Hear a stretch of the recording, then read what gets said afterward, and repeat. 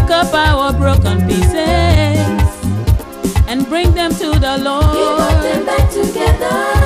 Nobody else can heal our wounds. Nobody but the Lord.